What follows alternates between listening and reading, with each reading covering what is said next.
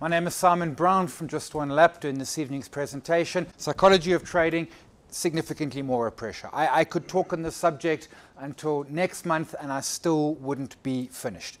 Trading happens in your head. More than anything, trading happens in the head.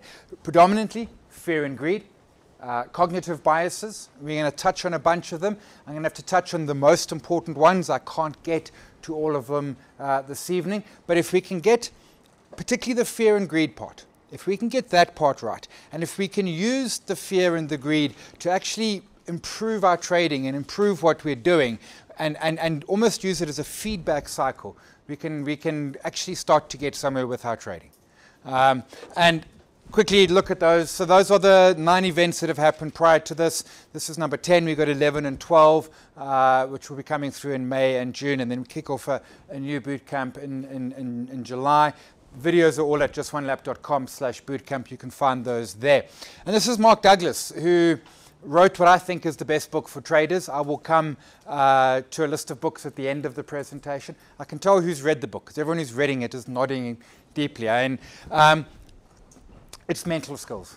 Trading is about mental skills more than anything else. Now, I can teach you technical analysis quick, quick. I can teach you product, be it CFDs or futures, quick, quick. I can teach you a trading system, quick, quick.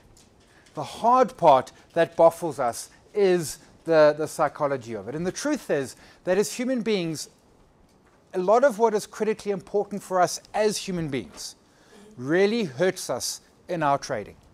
And we've got to break things that we're so comfortable with. We've got to break belief structures and the like. And the one, the example I always go to is something that every single person in the world told you, and they all said to you, in order to succeed, you have to work hard.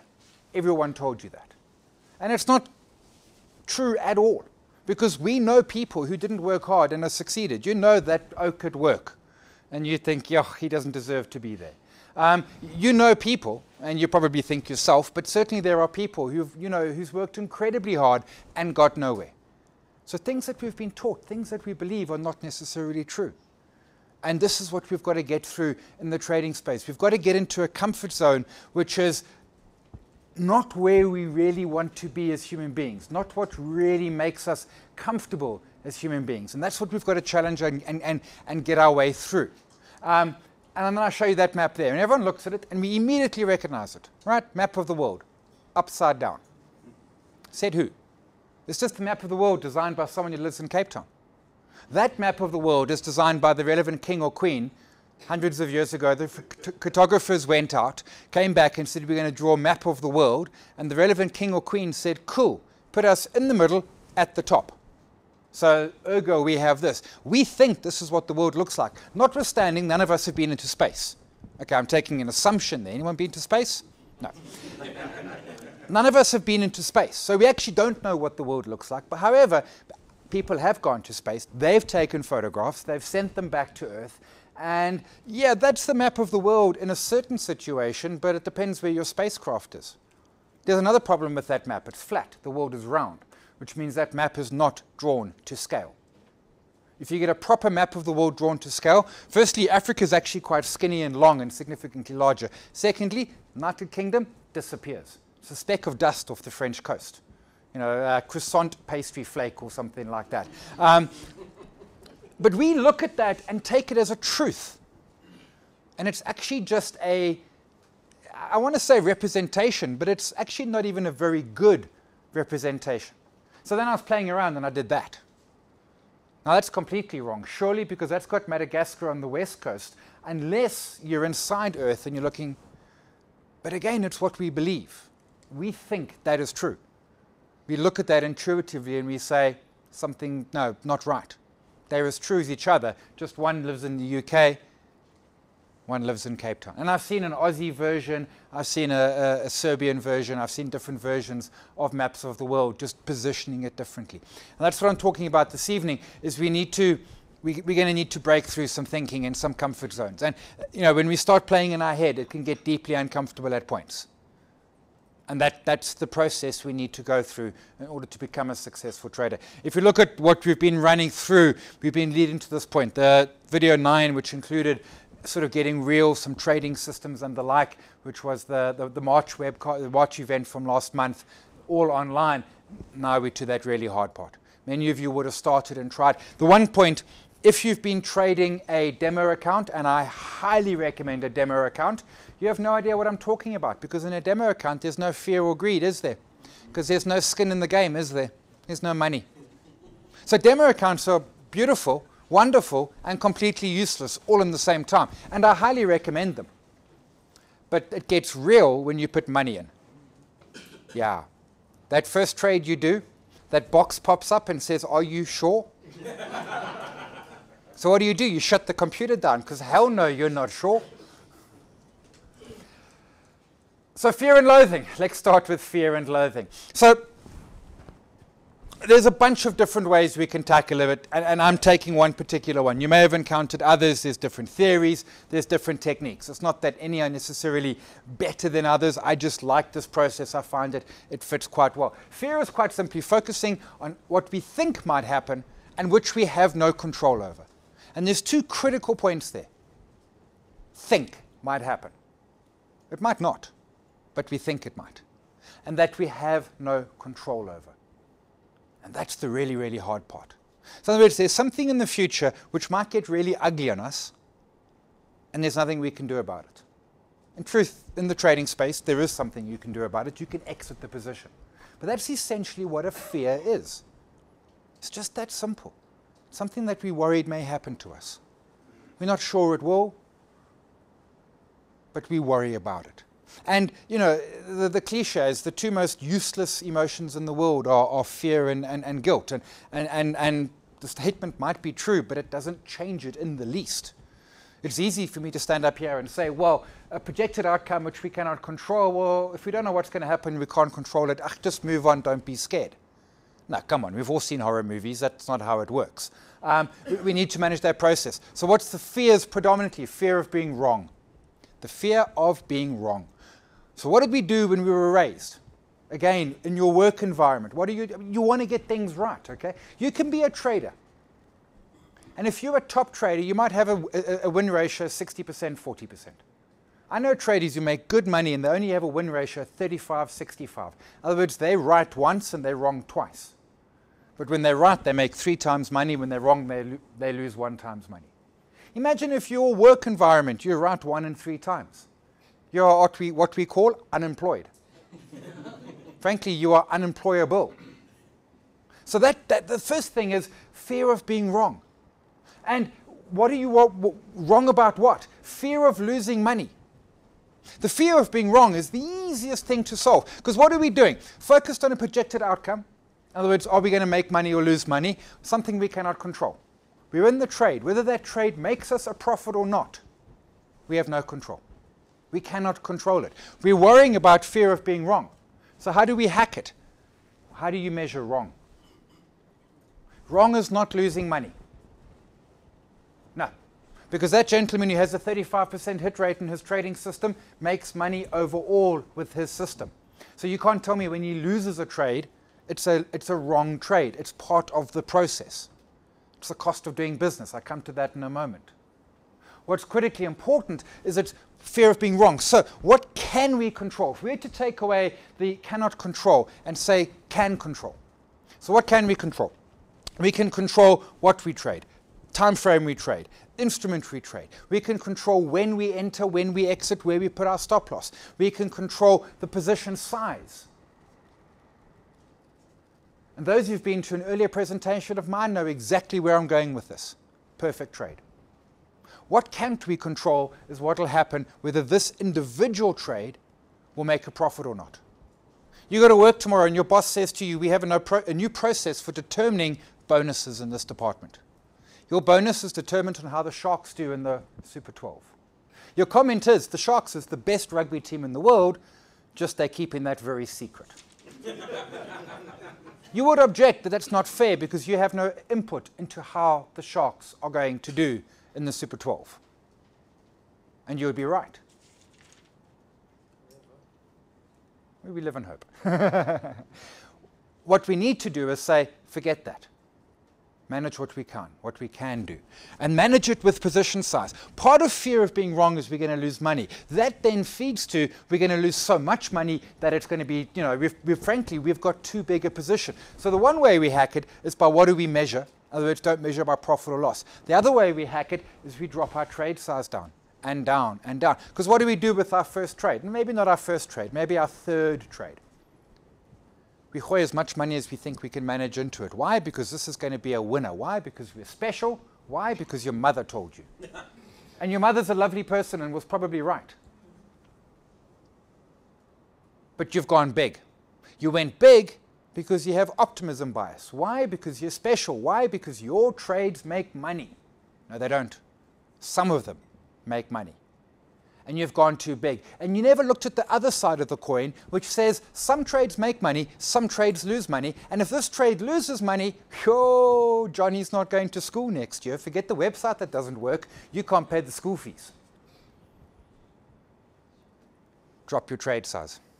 Now, in, in, in the next, uh, uh, the June event, we'll look at risk management. There's a bunch on just one lap around risk management. But the biggest problem traders have is we start too big. You, know, you want to be a, trying to think of a, of a realistic example. You want to be a racing car driver. You don't go buy a McLaren SL whatever racing car. You go start with a go-kart. Why? Because A, you don't know how to drive, and B, you're going to crash it. And you crash a go-kart, it's going to cost you 50K. You crash a McLaren, man, you're going to be paying that thing off for seven generations. drop your trade size. There's one problem when you drop your trade size. It becomes insignificant, you don't care, so you abandon the rules. But if you can't be disciplined with a small amount of money, how the heck are you going to be disciplined with a large amount of money that is eating at your brain while you're trying to trade? So trade smaller. How, for how long? For as long as it takes. When I trade Aussie futures, I will at max trade 18 contracts. I need a lot going in my favor to trade 18 contracts, but I will get to 18 contracts. It has taken me, I only started trading 18 contracts October 2014. That was the first time I did an 18 contract trade, and of course it was a losing trade. That's just Murphy making sure I know he's still around. The point is, it took me six years to get from three contracts to 18. It took a long time to get to that point. I don't know, we're in a hurry. You're in the wrong place if you're in a hurry. We'll get to that in a moment as well. So you take that fear and you use it as a signal. You say, where is the fear? What is it that's fearing me? And how can I turn it around? How can I turn it on itself in a sense and use it? And then we say, what do we have? What can we influence? Whether this trade makes or loses money, you cannot influence. So remove that from the equation by making your trade size small enough so that it's insignificant. And that's always the case. Even a pro trader makes an individual trade so small that that trade doesn't matter. It's a collection of trades that matters. And then you say to yourself, and you, uh, video seven, which was the New Year's trading resolutions, which we did in January, and I've talked about it in earlier videos as well, your perfect trade. These are the things you can measure. When you go to your boss and he says, we're going to measure you on the Sharks' performance, you turn around and say, no, measure me on these things that I control. There are seven things that you can control. Every one of those is completely something we can control. Every single one of them is something we've got control of. And you can, I mean, that list is what I use. You can add to it, you can subtract from it, that's your call.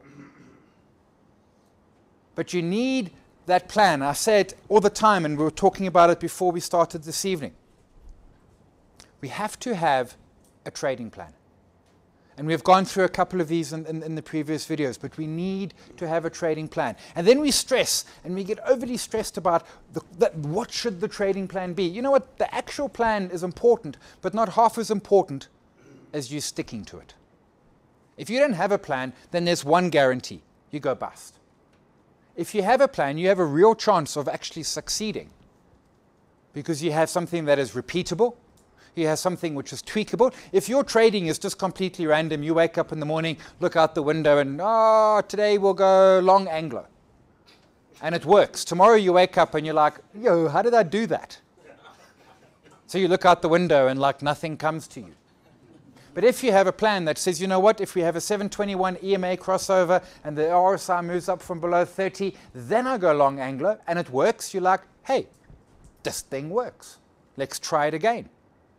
And look, it won't always work because you're not going to get a 100% success rate. But now you've got something which is repeatable, and you've got something which is measurable, and you've got something which, if you feel isn't quite there, you can tweak it. I hate tweaking because we're going to refine it to oblivion, aren't we? Instead of using a 14 RSI, we use a 12.76289444 because that's the magic number. Welcome to pain if that's your solution. But it, we need that plan. And part of that plan is your perfect trade. How do you execute a perfect trade? Now we're measuring ourselves on something that we can control. We have dropped our trade size down, so if we lose money, we're not bankrupt. Johnny still goes to school if you can get through the government department website. and we can actually measure ourselves. And then your target is to do one perfect trade. Just one. And as soon as you've done one, your next target is two, and three, and four. I'm on 102 perfect trades in a row. But I'm the Hashim Amla of perfect trades, eh? I'm not single century go out. I'm aiming for triple century, and then, by then I'll be so old I won't be trading anymore. It's taken me about five years to get to this many trades. In fact, five and a half, oof, almost six. So 15, 16 trades a year is what I average. So we move it forward. We take that fear, we identify it. What do we typically do when we get hit by fear? Good old fashioned response head in the sand. If you want to be brave, ha, go drinking with your buddies. You know, blame somebody.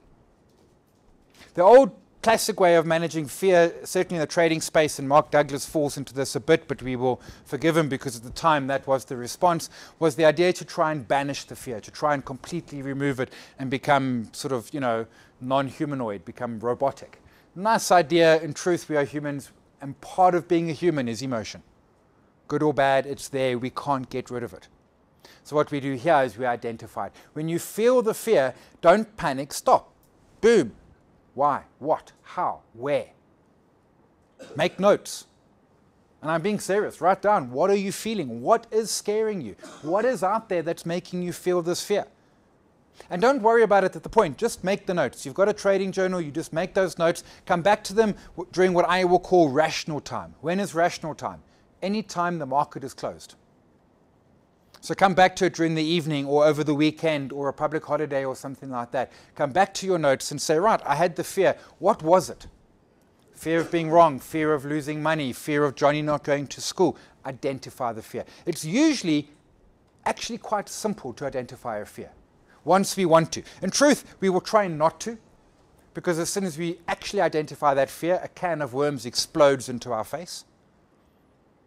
But that's cool. We're happy with this. We'll, you know, bring Kleenex. We can clean the face, look down at it, and say, what is it that's scaring me, and how do I manage this? How do I make it go? Part of that is plan. Part of that is perfect trade. Part of that is position size. And slowly it starts to go. And I mean, does the fear, does it ever go? I mean, so, so I want to, for selfish reasons, say yes, because I hope that I never have fear again. But I don't actually honestly believe that. My fear that I have for me personally trading is not sticking to my plan, and my big fear is not doing a perfect trade. You know, I've got my first hundred in my perfect trades. I don't want to go back to zero because if I do a non-perfect trade, back to zero, six years to get to where I am now. That's my fear. I then use that fear to drive me to make me a better trader. I do perfect trades. The biggest reason I do them, so that I don't go back to zero. So that I don't stand up here in a month and tell you that I've done two perfect trades and you will think, oh, what happened there? So partly it's my own shame and partly it's been shamed in front of all of you. Now, if there's one emotion bigger than fear, it's probably shaming and we just turn it back on itself and we just say, you know, and, and it goes. And as I said, I don't think we ever completely get rid of it. I think it pops up in different places. I think we, we, we learn to manage it in certain places. But that fear of the trade, that fear of the losing money, that we can fairly simply remove from the equation. And I say fairly simply, I didn't say quickly. This is a process. Maslow, we've talked about Maslow. There's an entire video on becoming an unconsciously competent trader. Uh, so I'm not going to spend too much time, but I want to touch on that because it's important for the rest of the presentation. We start there. Unconsciously incompetent. You are useless and you are unaware of that fact. That is no one in this room. Because if you were useless and unaware, why have you given up your Tuesday night to fight the Sandton traffic? You'll be sitting at home planning the billions you were going to make by Tuesday. Yes, today's Tuesday, but there's still six hours left, or however many still to go.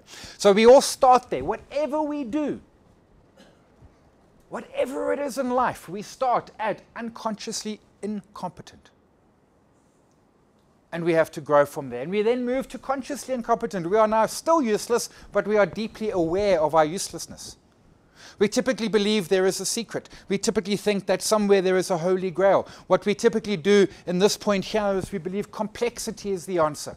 And we make systems that are pages long. And we make charts that are Christmas trees. They've got so many doilies and lines and bowls and things sitting on them. And it still doesn't quite work.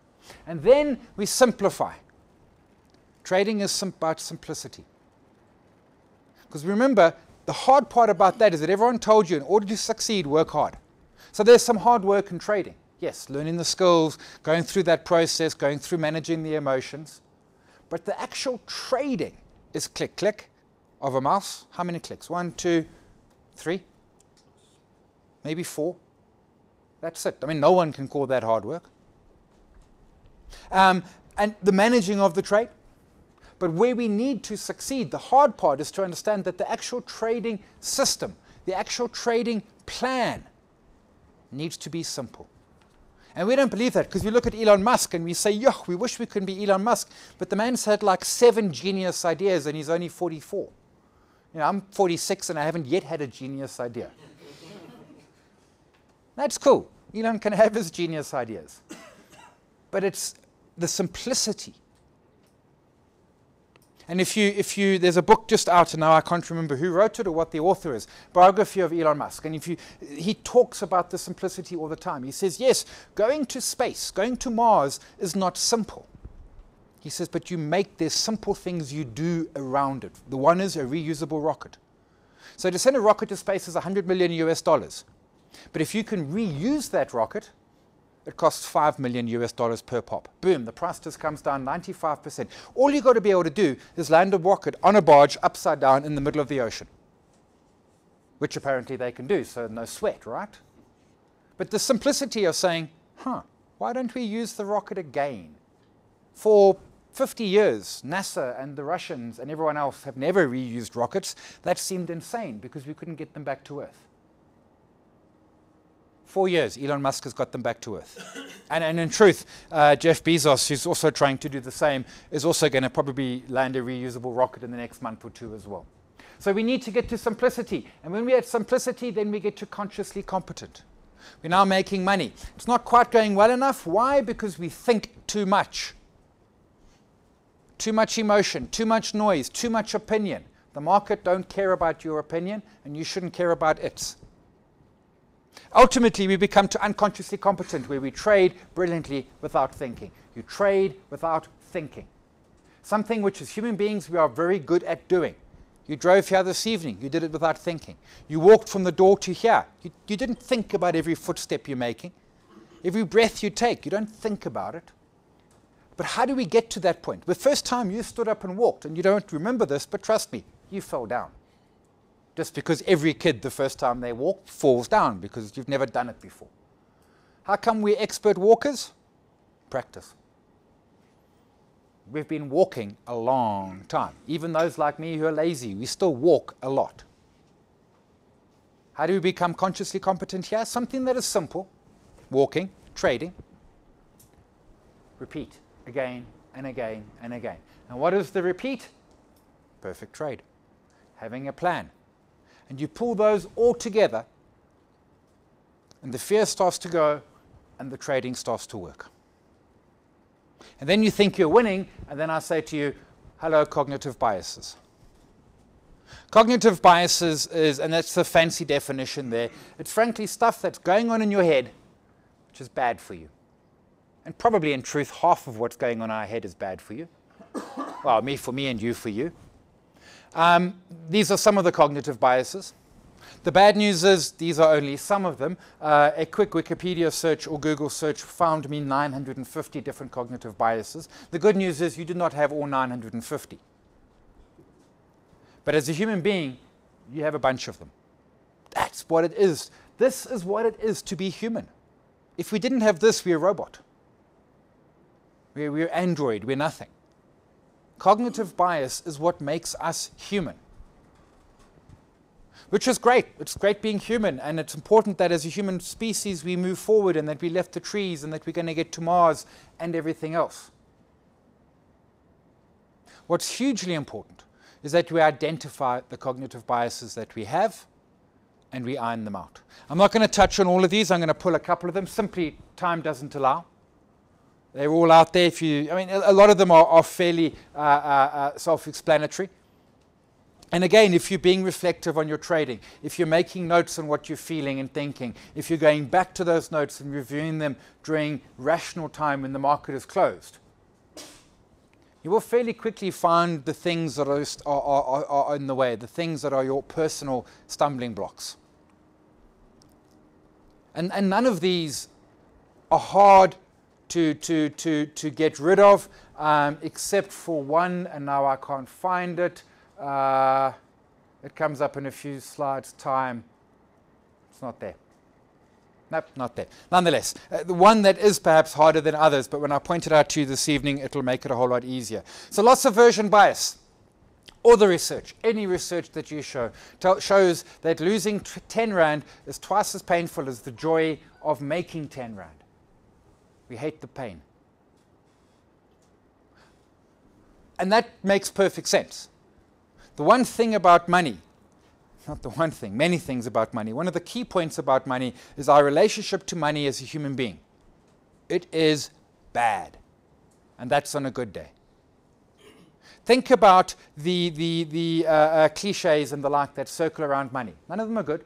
Fool in his money is soon parted. Uh, burn a hole in your pocket, and so the list goes on. There's no like, you know, hey, pile of money, smiley man stories. No you know, the, the, the, money story is always, you know, horrible and, and, and, and et cetera, et cetera. And, and the rich guy never gets the pretty girl. Uh, and so it goes on. And our personal relationship with money is deeply flawed.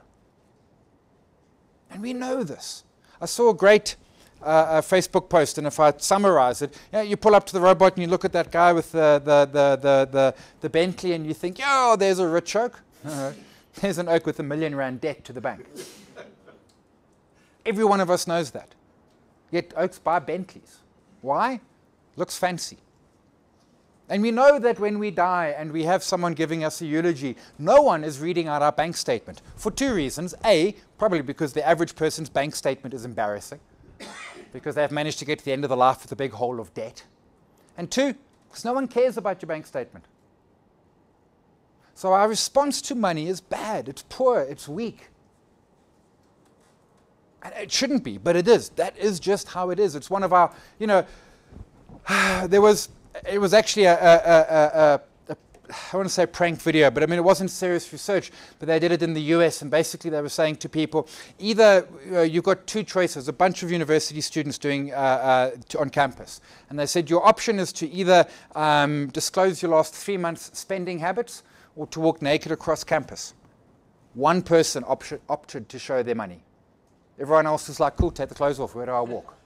Man, that's the wrong way around. That's fundamentally the wrong way around. So it's the fear of losing us twice as much. What do we do? We let our, loss, our, our losers run and we cut our winners. I've been there. I had two trades in the market. I forget what they were, not important. I was going on holiday with my lovely wife. I needed some money. I needed to sell one of the trades to get money so we could go on holiday. The one trade was making money, the one trade was losing money. Which one did I sell? I the one that was making money. Why? Because I locked in that rush of profit. And I gave the loser the opportunity to become a winner. It didn't. No, no. We all know that, don't we? It became worse of a loser. And in fact, I came back. This was way back. This was before the internet. We were on holiday up the west coast, Alexander Bay we get a newspaper. So we get the morning paper in the afternoon. I rush to the paper to see the share prices. And I'm just losing money like there's absolutely no yesterday. Um, but there's no cell phone reception. It's not like I can phone anyone or do anything about it. But what did I want to do? I wanted that rush of the winning trade. We sell our winners too quick. The point with losing trades, firstly, the size matters. Secondly, it's just a cost. Trading is a business. And part of a business, we have costs, brokerage, data, subscriptions, and losing trades. The chap I was telling you about who makes money on three and a half out of 10 trades, let's call it four out of 10 trades he makes money. He can only do those four trades that make money if he has the six that lose. And it's not linear, I get that. They hodgepodged in terms of frequency.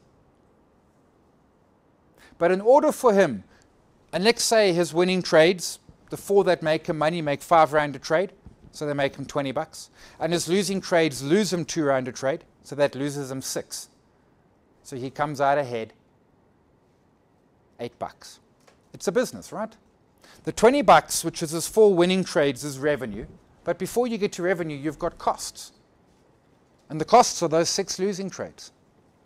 If you don't have those six losing trades, you don't have the business. If you want to have a hot dog stand at the beach, first you've got to go buy a stand, hot dogs, rolls, tomato sauce, butter, serviettes, signage, license. Now you can start making the revenue. In trading, a losing trade is a cost of being a trader. And we're going to have them. And it's not linear. You don't have four winners, six losers. If it was like that, it would be simple. Have your four winners and then don't do anything for six trades. It's never going to be linear. But when that losing trade comes, firstly, you've got your position size correct, so it doesn't hurt you. It's not going to bankrupt you. Johnny can still go to school next year. And when it comes, it's just a case of, well, was it a perfect trade? Yes. Well, cool. Then it's just a cost of doing business. It's a cost of being a trader. The trader who tells you they have a 100% win ratio, has never traded or is lying? Or both? no one, no one has a 100% win ratio. Most people struggle to get their win ratios to 60%. I used to target 65% as my win ratio. I gave that up over a decade ago. I, I'm a trend trader. I now target 51% win ratio. I'm quite happy with 51. And because I trade infrequently, because I'm averaging 15 or so trades a year, the years get skewed. I've got years where I've got 90% win ratios, and I've got years where I've got 5% win ratios. It's just the cost of doing business. It's going to happen. That's fine. I treat it, and this was a trick that I learned many, many years ago. So let's say you're doing a trade. Let's say your down payment, your margin requirement is 10,000 Rand. And let's say if you get stopped out, you lose 2,000. That 2,000 is the cost of entry to that trade. It's how much you pay to have the right to make money, to perhaps make money in that trade. View it as the price you pay for a movie ticket. You want to go see a movie this weekend, you pay how much?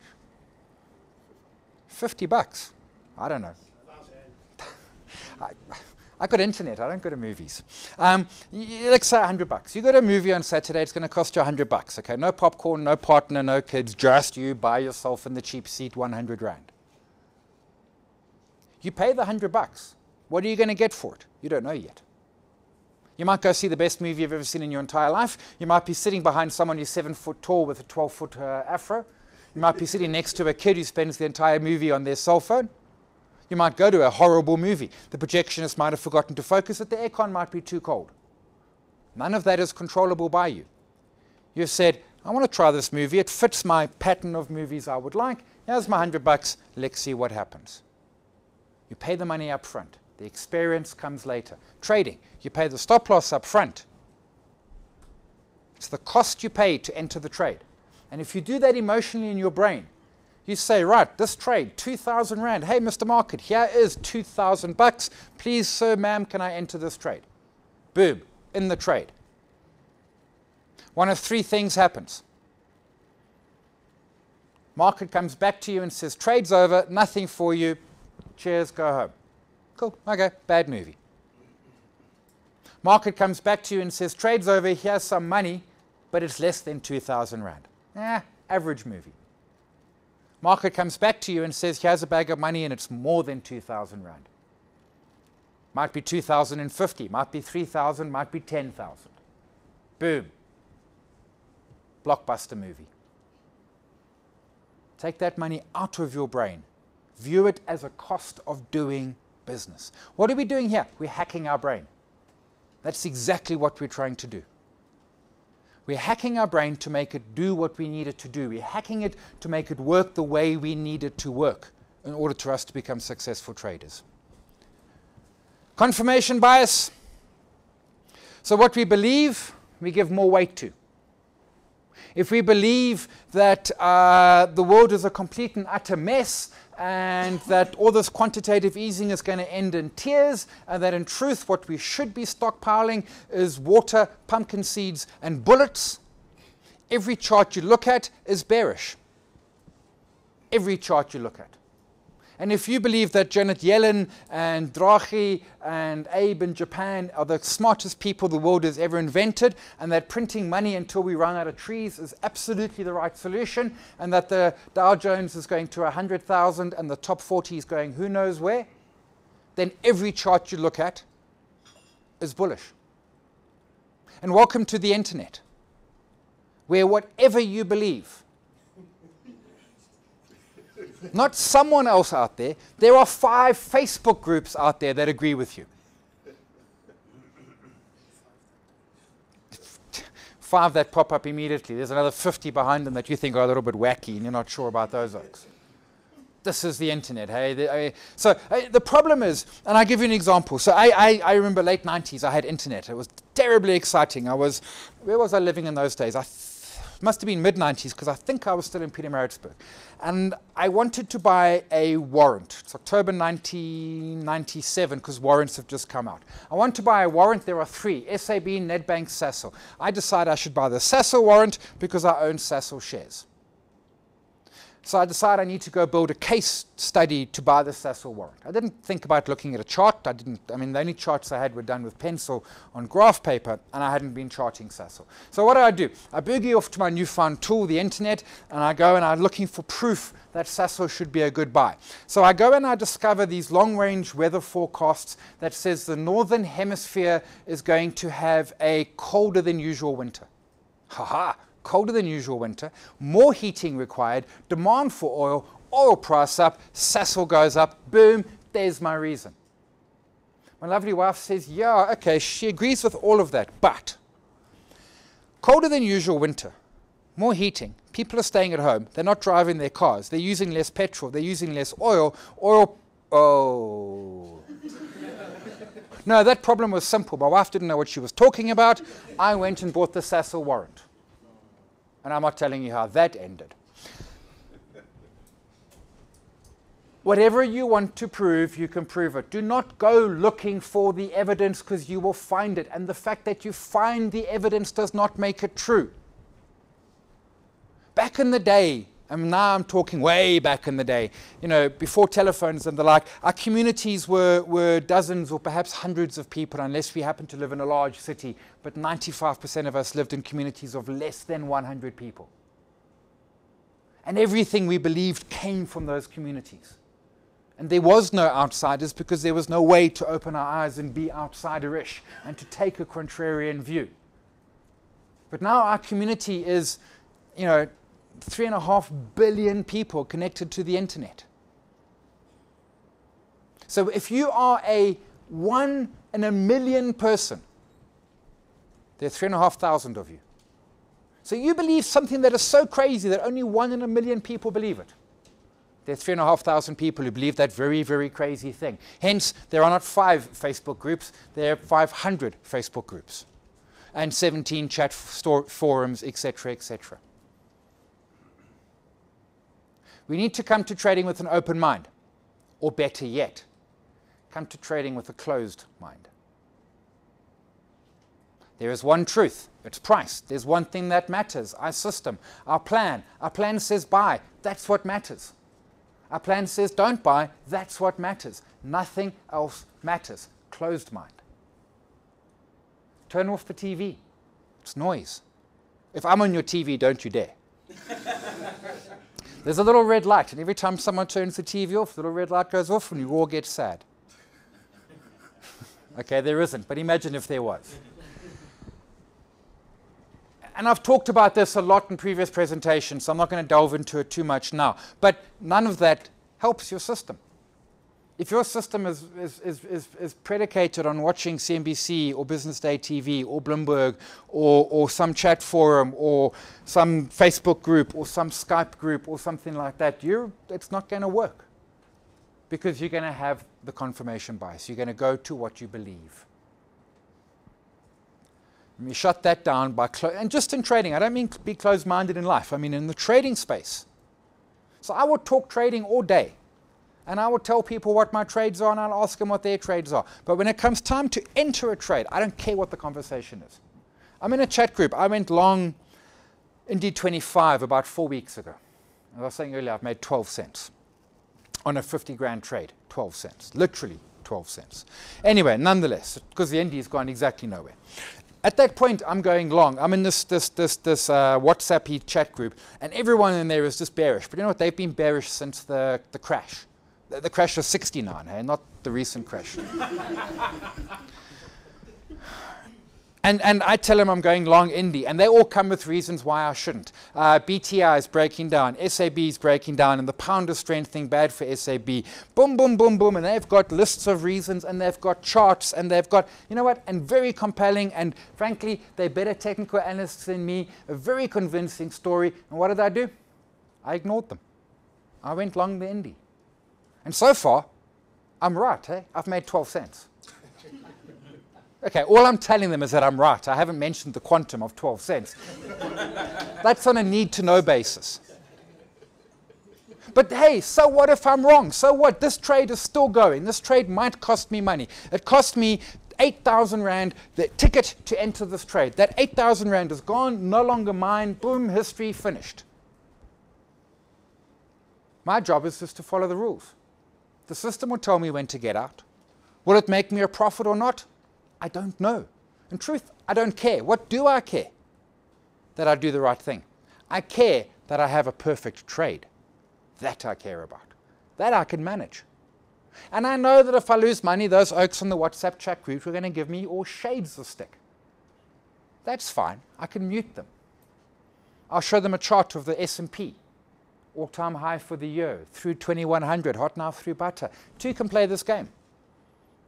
And it's great banter, but it's just that, it's banter.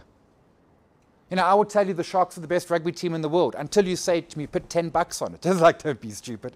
Have you, have you seen how they play? they're the best rugby team in the world when they're in the change room. Don't let them near a rugby ball.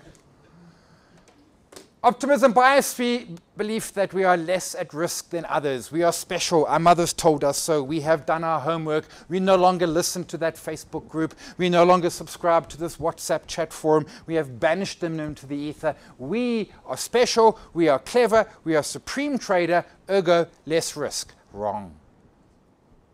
We manage our risk, but we never remove the risk. And if we start to believe our own nonsense, we're going to wipe out. Overconfidence is a killer in the trading space. Why? Two things we do with overconfidence. We trade too big and we ignore stops. The worst thing that can happen to you as a trader is that your first trade makes you a lot of money. Your first trade makes you a lot of money and you think, yo, that was easy. Where's Johnny's school fees? Come, I'm going to take Johnny's school fees and I'm going to go long oil 100 to 1 leverage, boom, problem solved. The best thing that can happen is at the first trade you just lose like a dinner. Not too much, just like a dinner, just to keep us grounded. That's my story and I'm sticking to it because my first 17 trades lost me dinners. That process helps. Yes, the process does make us less at risk because we have process. Um, but that risk is still real. And the point with it is how we stay less at risk is by staying in the plan. The risk is that being in the plan, we get confident and we move out of the plan. I said earlier that I will adjust a trading plan, but I'm very reticent to do it to the point that I have a annual process at the end of the year where I will adjust trading plans. And during the course of the year, I take notes. And, you know, people chirp me on Twitter and I have brainwaves and people make great suggestions. And I make notes of all of these great suggestions. And at the end of the year, I sit down and I say, cool, these are the suggestions that I've got from me and from others on how to adjust my trading plan. And then I look at whether I should or shouldn't. As a rule, I don't. Not because the ideas aren't good, but because the plan works. And when I change a plan, do I make it better or not? Well, we don't know, do we? A tweak to a plan may improve it, but a tweak to a trading plan may break it. Now, when you're starting, it's different. When you're starting, there's going to be a lot of tweaking and adjusting because it's new. But once you've got that plan going and it's running and it goes nicely and it has the winners and has the costs of business, which we otherwise know as losers, and it's going lacquer, what we then start to say is, cool, let's not tweak it. Remember the olden days, you went from with the bunny ears on your TV, right? You would like move it, move it, move it, suddenly, picture, don't move. Same with your trading plan. Man, the thing works, don't move. Stand there, even if it's uncomfortable.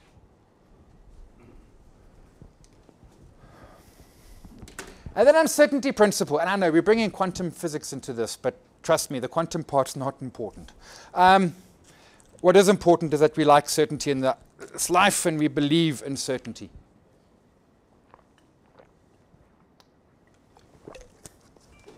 Basic quantum says that when you look at something, you change its state. Therefore, I can only know where it is or how fast it's going because the state is changing. Excuse me and that therefore brings to certainty. Old science, pre-quantum, quantum came out of chaos, which came out of uh, meteorology, weather in the 1950s. Fascinating story if you care about it, but if you don't, I mean, go Google it if you are. Before that, science believed uncertainty, black and white, if you will. And quantum comes along and says, nah, no certainty. Because when you look at something, you change it, and therefore when you measure something, you change it, and therefore you don't know what you're measuring or what you're changing. How does this come to trading? So in the world that we live in as human beings, we quite like certainty. I know we like to pretend that we're like a little bit radical and that we quite like to living on the edge and stuff like that. Nonsense. We like certainty. You want to be quite certain that no one's going to invoice you for this evening's presentation because that's what we promised. You want to be certain that when you stamp your ticket and go downstairs, you won't pay for parking because that's what we promised. You want to be certain that when you go into the streets of Gauteng, everyone will be driving on the left-hand side of the road, which is the right side of the road, if that made sense, because that's how it works. We actually do crave certainty. And we come to the stock market and we try and impose a concept of certainty on the market. Because as human beings, that's what we are. We are creatures of certainty. So, welcome to the stock market, where I used to say the only certainty we have is that the market will open at 9 and close at 5. And then one day the JSE had technical problems. And the market opened at 2 and closed at 7. So now I say the only certainty that we have is tomorrow the sun will rise. And if it doesn't, it's crashed into the Western Hemisphere and nothing matters anymore. We're 45 seconds away from burning up. The market is completely uncertain. we like to believe that if, we, if X happens, Y follows. Because what, that's how we walk, right? I just told you about unconscious competence. I've just told you about driving a car. How do we drive a car? Well, you push the accelerator, the car goes forward. The revs get high, you off accelerator, on clutch, change gear, off clutch, on accelerator. And it works. Welcome to the market, where there is no direct linear relationship. We look at correlation. One of the big things you'll say is, oh, look, look at correlation between assets or between stocks. Yeah, okay, correlation's lacquer. It's an Excel equation. You can go and do it, excuse me, and then you square it, and you get a number between minus 1 and 1. 1 perfectly correlated, minus 1 perfectly inversely correlated, 0 chaos relationship. None between the two. But here's the point. Firstly, pick your time frame. You pick any two assets You can find a time frame at which they correlate. You just got to find that time frame. But more importantly, what's gone before does not indicate what will happen in the future. That correlation can break down. So we had a correlation, when I say we, planet Earth had a correlation between coal and oil. An inverse correlation that had played out for about 30 or 40 years. And it's now broken. And it's been broken for the last two years. Is it going to get back in sync? I have no idea. But everyone, the story two years ago was quite simple short oil, long coal. You made a killing on the short oil. Unfortunately, you got killed on the sorry, killing on short, on short oil, killing, and you got killed on coal because coal, is, you think oil's fallen, you ain't seen nothing yet. Coal is fallen anymore. There's an energy unit, so it's a scientific theory. There's a, units of energy in a barrel of oil versus units of energy in a ton of coal, and they should be broadly in line. So this has got science behind it until it falls over and doesn't work anymore. And then it's just got quackery behind it. We love to find patterns. We love to say that there's those high levels of certainty. In the market, the only certainty we have is how we will respond to a situation. And really, there's only two responses that we need. At one point, our system is telling us to enter a trade, and our response is to enter the trade. At another point, our system is telling us to exit a trade, and our response is to exit the trade. Everything before, in between, and after is irrelevant. And if you start pattern hunting and looking for certainty, you're going to find it everywhere. And you're going to be able to do nothing with it. There's a brilliant website called spuriouscorrelations.com. And he goes and finds, so my favorite is uh, the number of, ah, what is it? The number of no black nominees for Golden Globes and Oscars is directly correlated with the number of people who die while brushing their teeth. no, go look, it is. So this year, when there was like hardly any black nominations, the number of people died from brushing their teeth is way down, historic lows. And you got to say, man, that's spurious. That is, that is complete nonsense. And he just goes and finds this crazy data and brings two completely unrelated things together and says, hey, look, there's a correlation between the temperature in Atlanta and how many people die by stepladder in California. Because the data says there is, because when you chart them, they're in sync. And that's completely and absolutely meaningless. Trade the plan. That's your only certainty. That's the only thing you can control. Nothing else matters. Ah, that's what I was looking for. Blind spot bias. so we can see everybody else's biases, but we don't have any, hey, do we? Yeah, side eyes from the kid. You've got biases. The ones I'm talking this evening, maybe not so prevalent to you. You have biases. They are real. Some are going to be more, relevant, re, re, re, uh, more important to you. Some are going to have more impact on you. Some might not for whatever reason, that's fine. But start looking at what you're doing. When you're looking at a trade and it feels uncomfortable, why does it feel uncomfortable? It feels uncomfortable because you've got a bias. Probably because you've got a view that is counter to the trade. Well, that's fine. Having a view is perfect, but not in the trade. Go find that view, go squash it, not in the world, just go squash it in your trading space. I never warned you about the next slide. Greed. So this was a, a podcast I did last week where I was talking about expectations. Christia, my colleague sitting in the corner there, and I never warned her that she was coming up on the slide. Uh, I meant to. Um, went on a Twitter rampage. I love Twitter rampages. And basically she said, the problem is, so the expectations, we want to be rich in a hurry. And I'm talking Friday, I'm talking this Friday, I'm talking tea time, I'm talking morning tea because I have plans for the afternoon. So we think trading is the answer. No. You want to get rich in a hurry? One way you do that marry money. Everything else takes time. You can tell. No, I didn't. Oh, you find where the rich people hang out and go hang out with them. I didn't marry money, so I'm not the expert there. And for the record, neither did my wife at the time. We were both as poor as each other. We were a perfect fit. The point being is we're trying to smack it out the park. Christia's point was, quite simply, if you are needing trading to be your salvation, you have bigger problems, and trading is not the answer. The problem is your spending is out of control. The problem is you have a job that is horrendous. Your problem is, your problem is somewhere else. You need to fix those problems because trading is not your solution. And if, your if your plan is to be rich by Friday, there's only one way to do it, and that's to bet the farm and everything else that you own. And that might work once. It might even work five times. It might even work ten times. Come on, you've tossed a coin. How many times have you got heads in a row? But eventually tails comes. And if you're betting the farm every time, one day you lose the farm. And then that's it, eh? Then it's game over. There is no reset button. There is no go back to a previous saved version. This is it.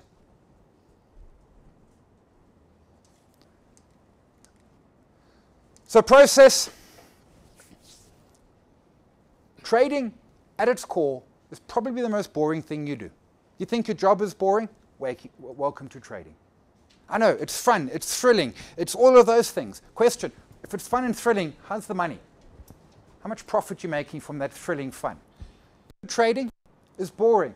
It's about processes, it's about plans, it's about record keeping, it's about introspection, it's about constantly going back and checking yourself, it's about marking your trades, it's about not letting biases get in the way, it's about never getting you know, a hot tip on a WhatsApp group and you rush off and buy NX and the thing quadruples in price and you make a fortune. That happens in the movies and only in the movies. And in fact, in the good movies like Margin Call, it happens the other way and they all lose their money. Best movie about trading, Margin Call. Always be analyzing yourself again and again. We've got to keep ourselves on that straight and narrow. It's not by mistake that I have 100 plus perfect trades. It is by design, it is by effort, it is by I make that happen. I didn't just stumble into it one day and get lucky. It's a process. It took me a long time to get there, and it takes effort and work and dedication to keep it there. So always be asking two questions to ask yourself every time you find yourself in a corner. Question one What's the worst thing that can happen? You get stopped out. You lose a predetermined amount of money because you knew before you entered the trade where your stop loss was. You know what your risk was in the particular trade. The worst thing that can happen is that you lose some money. And you don't have to tell your friends on the forum. You can go and lie to them and tell them that you were short. They won't know any better. So the worst thing is we lose some money. The same money which I earlier said is just a cost of doing business. The same money which I before that said makes small enough so it doesn't matter. And that's the worst thing that can happen. Man, there are people out there who haven't got dinner tonight and we're worried about losing a predetermined amount of money that we can afford because we've worked it out. That is not pain or suffering or anything like that. That's a part of doing a business. The second question is what's the best thing that can happen? We make a pile of money. So much money that tonight, forget Johnny Blue. Blue's the wrong color. What are we drinking? I don't know. Johnny Navy. Off the top of my head, I can't think of a more expensive whiskey. Veuve Clicquot by the barrel, forget by the case. So really, our downside is frankly small, immaterial, and frankly insignificant, and our upside is real. Now, we're not going to make enough money to go and buy a small East European country not in one trade. Because if you've made sure that how much money you're risking is small enough it doesn't matter, how much money you make is not going to change your life either. However, if you do that often enough and repeatedly, again and again and again over a period of time, it starts to add up and it starts to get real. It's just not happening anytime this week. Frankly, probably not anytime this year. So the only truth touched in this, it's about price. The other bits are noise. We focus on price because it gets rid of our, of our biases, of our cognitive biases. We focus on price because it removes us from the uncertainty principle. We focus on price because it gets rid of the chat forums and the Facebook groups and the crazies who are out there on the internet. If price is the only thing that matters, and price is your chart, it tells you to buy, it tells you to sell, it tells you to sit in your hands. Three valid positions. So this is the slide from last month, which I grabbed again. Trade the plan. Uh, in video, that's not right, video 7. Video 9, um, FX and index trading. There are two trading plans that you can look at. The news trading and the lazy trading system, which are trading systems that I the, the, news flow I have used and the lazy I currently trade, I'll come back to that in a second. They're there, they are viable trading systems. They will not, I repeat, not make you rich anytime soon. But they will make you money. And what's nice about them, particularly the lazy one, is it's very simple. So there's no rocket science, very little space to make errors. And I tweet it, it works, it's on the website. So it's an easier place in many senses to start. Instead of learning to sail on the you know, Bermuda Triangle, you learn to sail in the bathtub. Small boat, but it works.